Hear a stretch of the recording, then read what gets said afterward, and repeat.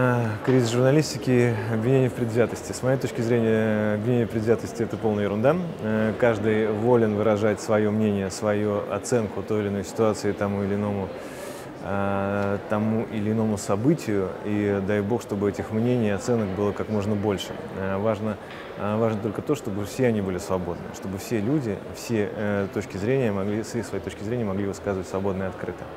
Поэтому добро пожаловать, будьте предвзятыми, только разрешите другому сказать то, что он думает или то, как он видит эту ситуацию. Что касается качественного контента, с этим действительно есть проблема. Э, дело в том, что лонгриды или там long-form контент очень модные, хоть, хоть и очень модные слова, но тем не менее этот вид журналистики находится, ну, по крайней мере, в стагнации. Э, и здесь действительно э, медиа заинтересованы, чтобы найти новые формы, как окупить, как финансировать этот, безусловно, важный и интересный жанр журналистики. Я думаю, что э, реклама, к сожалению, не поможет э, лонгридам. Э, лонгриды не смогут существовать исключительно за счет рекламы.